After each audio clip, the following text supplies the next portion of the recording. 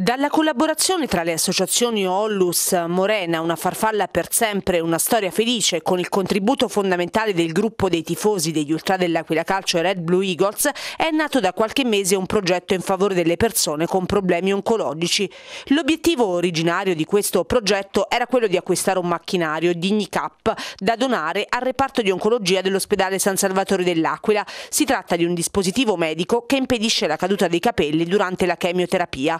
Successivamente, grazie ad una risposta straordinaria da parte della gente che ha aderito a questo progetto solidale, al di là di ogni aspettativa, si è pensato non solo di acquistare due macchinari invece che uno, ovvero la quantità massima possibile per coprire le esigenze del bacino d'utenza afferente all'ospedale aquilano, ma addirittura di ampliare questo progetto attivando ulteriori servizi non preventivati inizialmente.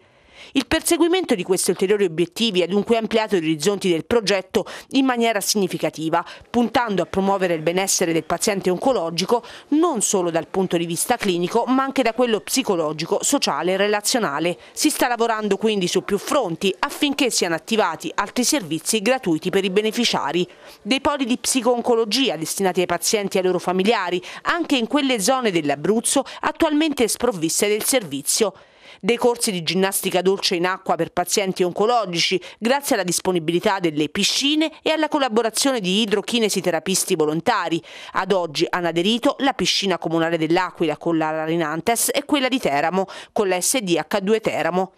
Anche qui l'obiettivo è quello di estendere questa iniziativa su tutto il territorio regionale